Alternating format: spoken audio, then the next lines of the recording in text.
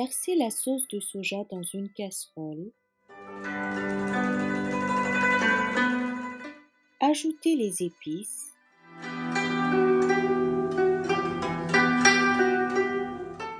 Une demi-tasse d'eau et les œufs durs. Laissez mijoter pendant 45 minutes sur feu doux. Retournez les œufs de temps en temps afin d'éviter qu'ils ne s'attachent au fond de la casserole. Quand les œufs auront pris une belle couleur brune, sortez-les du feu et laissez-les refroidir.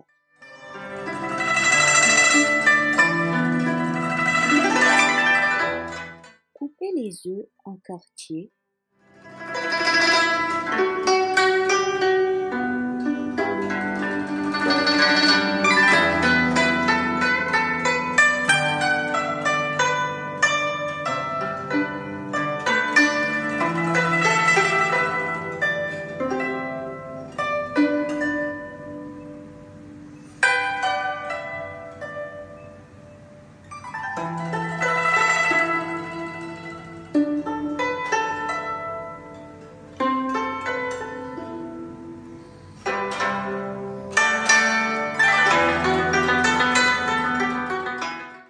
Pouvez le servir avec de la salade, des tomates cerises ou une sauce piquante, libre à votre imagination.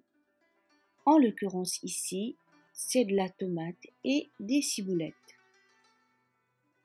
Si vous avez aimé la vidéo, n'hésitez pas à liker, à partager et à vous abonner à ma chaîne.